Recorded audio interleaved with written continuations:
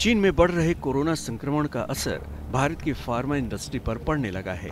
भारत की pharma industry सक्रिय दवा सामग्री, यानी एपीआई और थोक दवाओं के लिए चीन के भरोसे है। चीन में कोरोना के मामले बढ़ने से इन प्रोडक्ट्स के दाम में भारी तेज़ी दर्ज की जा रही है।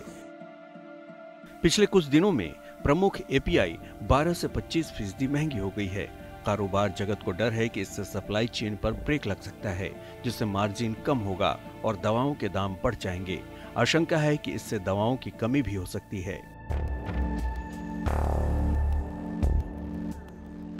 दरअसल कोरोना महामारी की ताज़ा लहर के चलते चीन में एपीआई की घरेलू डिमांड और खपत में उछाल आया है।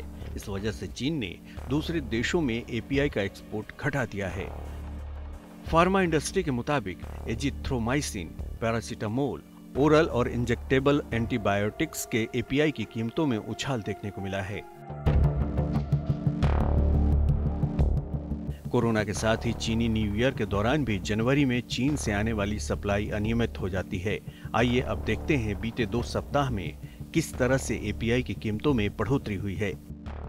बीते दो हफ्तों में पैरासीटामोल के एपीआई की कीमत साढ़े चार सौ रुपए से बढ़कर साढ़े पाँच सौ रुपए प्रति किलोग्राम हो गई है। पंद्रह दिनों में पंद्रह फ़ीसदी इजाफे के साथ एजिथ्रोमाइसिन की कीमत आठ हज़ार सात सौ रुपए से बढ़कर दस हज़ार रुपए प्रति किलोग्राम हो गई है। एंटीबायोटिक एमोक्सिसिलिन के एपीआई 2,850 रुपए से 13 फ़ीसदी बढ़कर 3,200 रुपए प्रति किलोग्राम हो गया है। एपीआई पोटेशियम क्लेवुलनेट की कीमत 17,000 रुपए से बढ़कर साढ़े उन्नीस हज़ार रुपए प्रति किलोग्राम हो गई है। भारत में एपीआई समेत जैविक रसायनों का आयात 2021-22 में उनचालीस फ़ीसदी बढ़कर साढ़े बारह अरब डॉलर का हो गया है। ये दवाओं को बनाने में काम आने वाले कच्चे माल के लिए हमारी चीन पर निर्भरता का सबूत है। Lupin, Sun Pharma, Glenmark, Mankind, doctor Reddy's Torrent जैसी घरेलू कंपनियाँ मैन्युफैक्चरिंग के लिए चीन से आयात पर निर्भर हैं। हालात बिगड़ने की बड़ी वजह यह है कि पहले तो ज़ीरो कोविड पॉलिसी के तहत चीन में प्रोडक्शन में गिरावट आई थी।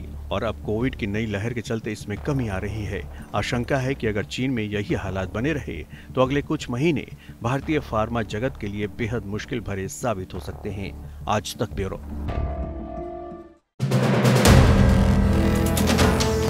वीडियो पसंद आया तो हमें लाइक, कमेंट, शेयर और सब्सक्राइब ज़रूर करें।